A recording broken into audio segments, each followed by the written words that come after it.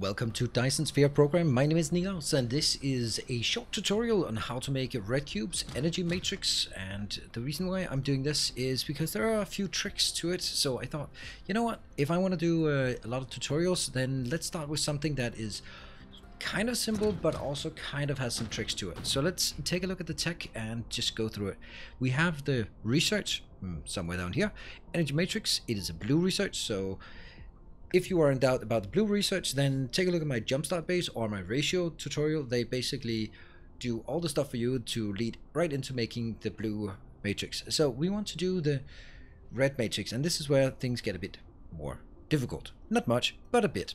So what uh, what you want to do is you want to make two of the you want to take two of these energized graphite and two hydrogen and so those are new items you need the graphite you get from coal and the hydrogen you get from oil processing. So you will need to get into some oil in order for this to work.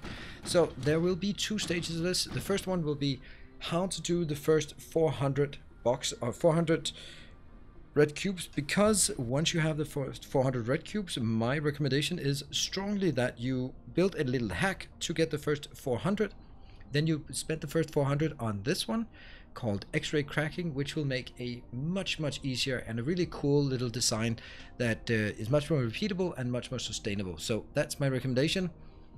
And uh, yeah, so let's take a look as the dawn is coming. I wanted to start on wait until we had the dawn here. So we're gonna start by finding an oil. Try to find one that is uh, close to two. Uh, just a slightly less than two is just fine. And we're gonna start by just hooking that up. So this one will produce a bit more than 2 per second because we have one upgrade that gives us just 10 and this one will give us some crude oil. Crude oil is actually just coming out on a belt in case you are in doubt. So do that on a belt here.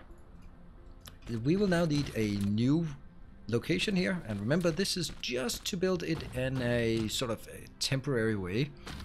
Uh, but even if we build something temporary we might as well build it build it neat and because even if you build it temporary you might want to keep it a bit longer than what good is. So we are going to build four of these power plants or these uh, things and at the start of the game or immediately you will have access to plasma refining. This is the one we're going to use takes two crude oil in and gives us two refined oil and one hydrogen. So we get the one hydrogen we need but it also takes four it takes four seconds. So if i want to get two one hydrogen in out per second then i need four of these and also if I take four of these, then I'm going to consume two oil per second, and that's all that I can get out of an oil extractor at this point. So you're going to take this recipe. I'm going to use copy paste to get it to the other ones. And we're going to get a little power pole here and there. So I would, I'm assuming that you are only using Mark 1 belts and inserters. So I'm going to make it like this. And I'm pretty sure someone will go like, well, actually, you don't need this. And let me tell you, actually, you do. So um, you're going to take this one in. This one is now working at 0.75, but I'm only taking one per, what, two per four seconds, so it's 0.5. So that's good in terms of inbound. Yeah. And then we take outbound here and outbound there. That's very, very simple. And what we get out here is mixed belts like that. I'm going to do it. So theoretically, since you're only getting, or then with this recipe, you are getting three items out every four seconds, then a 0.75 speed should be enough. It just turns out it isn't.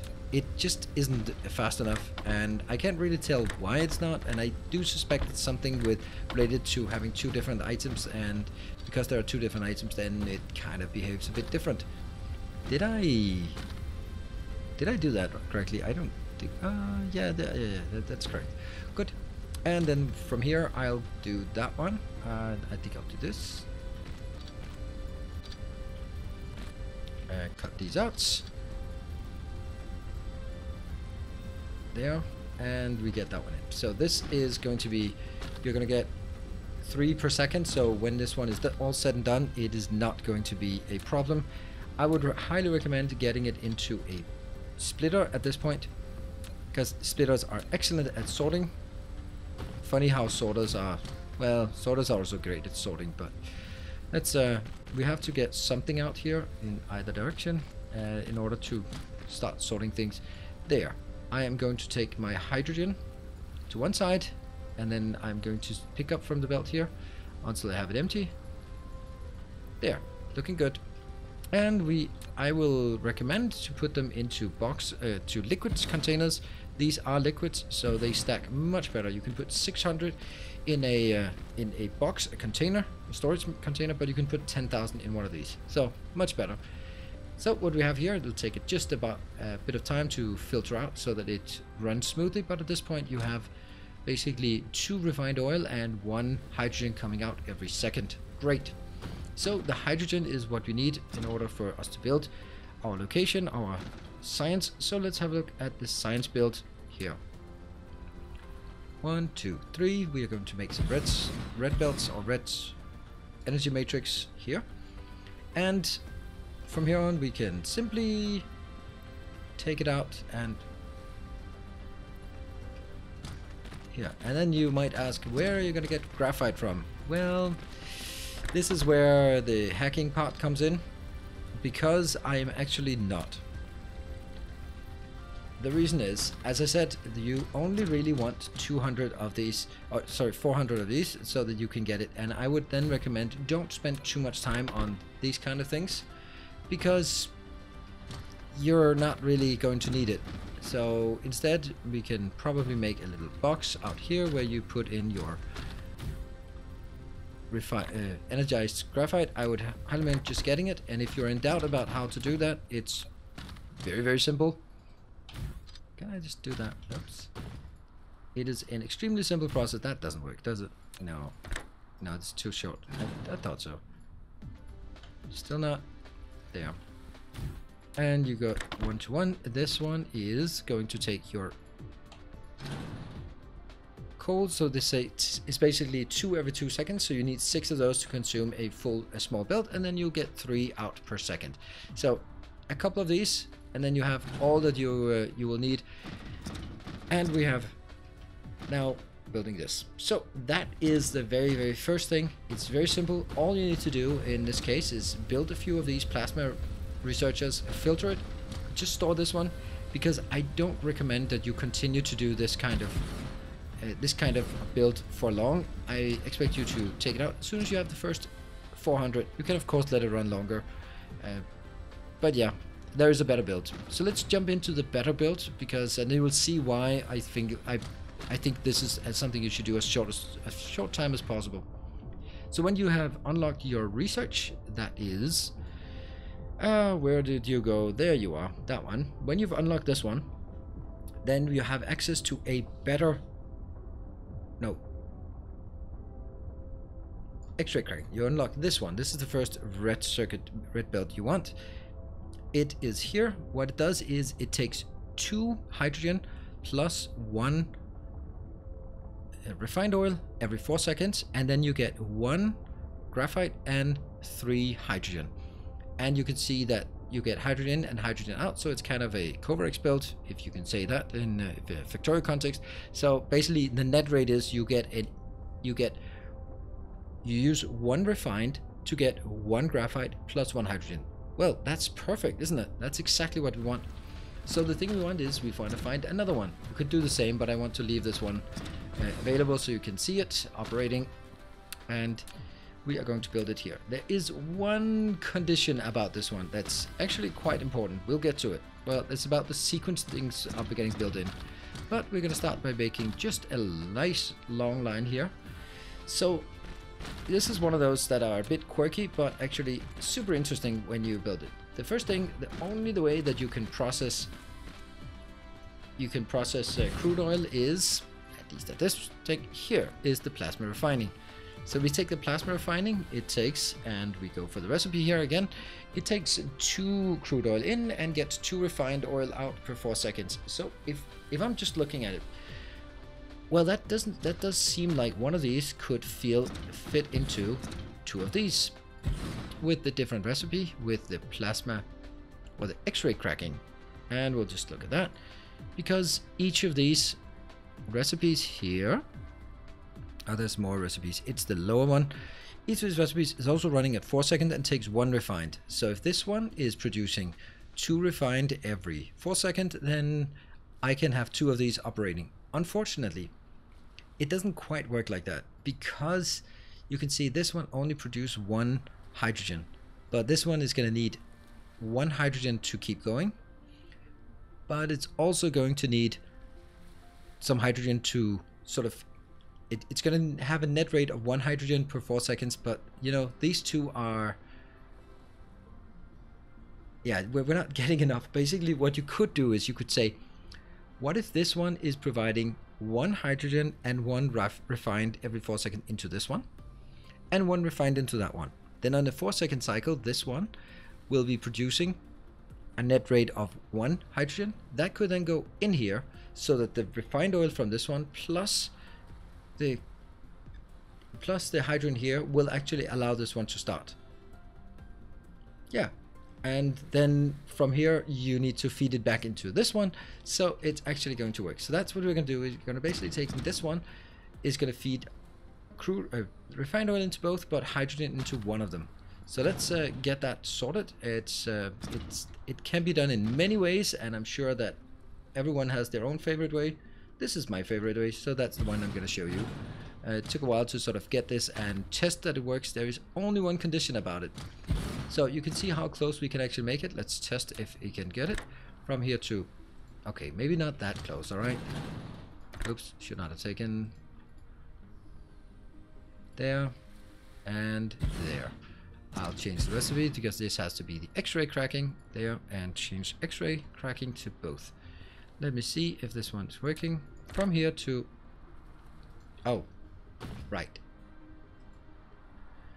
Ah, silly, silly me. Of course it's not how I wanted it to be. I, of course, wanted it to be on the side. That's why I couldn't get it to work. This one. And now I can see, because now we have the three outbounds here and here, and that's going to be absolutely wonderful. So, let's change this. X-ray, copy, paste, X-ray, X-ray. Good. Now we can get stuff from here into that one. You can see the filter. I'm going to allow both items to go in from here to here. But on this one, I'm not allowing the hydrogen to go in. So I'm going to filter so that it only gets the refined oil. I'm going to get a power pole in here so that it actually works. And what I'm then going to do between the two of them is I am going to simply say, you're going to take that one here. You're going to go one back. And you're going to get two that way. So now you need outputs. But before you get outputs, and this is the one part that's super important before you get any outputs, make sure you hook this up and get this going until these two are starting to work. You can still build the, the belts in the meantime, that's uh, not a problem, but don't make it take anything out yet from here. We can drag this this way. And I will over here, I'll just make, I think that one is probably a good location. I can do all of these things while I I let the other one fill up. Here, get in and get out. And let's get this one. And I will get hydrogen out on this one. And that means we get the other one here. So, and this case, I am going to, again, build a storage box for the hydrogen. And we're going to get a more conventional box for the graphite. Let's make those louder, or it's louder, taller. There we go. And I will get that one in here. Good. And we're going to get a little power pole here as well. Though that is not connected just yet, but I'm sure we can get it connected. So now this one, these ones are working, and once they're working, you are good to go. You can take it out because then it has fed itself or fed each other across these here because these ones are feeding into each other and you need to make sure that there's a bit of a buffer. So how much does this produce? Well, it produces every four seconds, it produces one of each. That's the net rate. One refined, one ref energized graphite and one hydrogen. So that's every four seconds. And if I want two of each, well, let me just build more of these because that's uh, this simple thing here.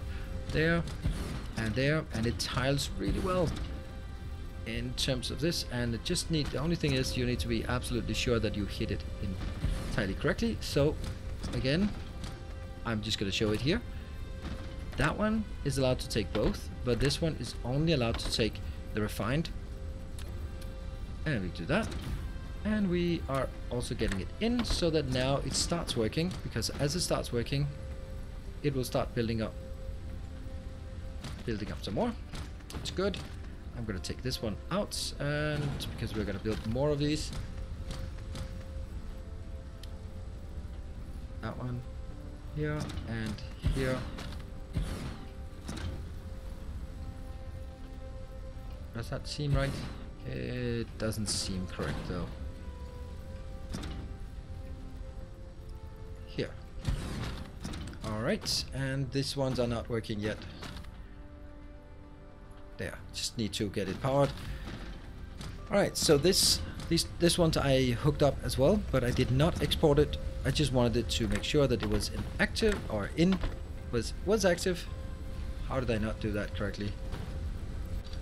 What did I miss? Oh right, of course. I didn't they also have to be feeding each other. And this is also important. There has to be two from this way to that way and one the other way because then it matches. Then it basically says whenever this one produces three items, one goes out here and two goes into this one. As long as these two are working, I can now start exporting it again out into the network. This one goes in here and here and here back again. And from the refining to here and that one will be dedicated and one of these and the inbound. Right? But not the outbound yet. Remember, no outbound yet. I'll take the last one because if this is using it, I'm going to need to build one more of these. And when I have four of those, I have all that I need. And I'm again going to take this out. And let's see. Oops, I missed it, didn't I? There. And I'm going to go from here, unfiltered, from here, filtered. And we're going to get the power, get the power back up get it inbound. And from left to right to left. And this one has been working for a while so we can start putting it out. And we'll get the last one out very very soon. What you're then gonna see is that when I build all of this we're just simply gonna wait for this one to start activating. This is gonna start activating and then it will start pushing things. Since it only can push things one way then it'll start pushing it towards this one and this one will start pushing it back again. And now we have a stockpile here of the hydrogen which is exactly what we want. And once we have a bit of stockpile then it will operate. And the thing is if you don't do this then you will see them flicker on and off just gradually. Just ever so slightly they will just flicker off here. And what you're seeing this, all of this, is generating exactly six items per second. That means you can exactly fill up an entire belt here, and you can split it in, and basically from here on, you can just do as exactly as you did. Bring it into these locations and build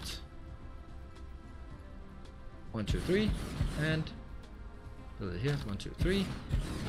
Looking good, and basically we can just, I want to do that because I want to just make sure that we have something complete that's going to go on one side. And actually, I'll get that one in here. And that'll go on the other side. And from here, I'm going to take this outbound. And at this point, we'll just basically make it into a box because whether you put it into a box or ferry it somewhere else, that's totally up to you. And let's get some power for Actually, that one is probably better, this power in here. And that one will be grabbing things in here. And with the reason why I'm choosing this amount, okay, uh, right, we need to make sure that we get stuff outbound there, there, and there. They're now coming out. And then they need to go in here, one and two, one and two, and then clean up the rest of the belts. There, and we need the outbound as well. And once we have the outbound, we are good to go. Outbound and outbound. So this one, each of these is producing one, uh, 10 every minute. That means six of these will produce 60 every minute. That's one every second. One every second consumes two of each per second, which is exactly what we built here. So what you have here, and that, and now you can see why I want this one to be uh, to be built like this. Uh, also, if you took a, take a look at the inbound, This one is every 4 seconds. It is consuming 2. So there are 4 of them and that means every second it consumes 2 of them which is exactly what you can produce in an extractor that is outputting 2 per second. So extractor, oil extractor with 2 per second, build this one, then you get everything exactly at ratio that you need no uh, no worries. And you can forget about all of this and tear it down and build this one instead. This is the super duper easy way of making red science or red science cubes.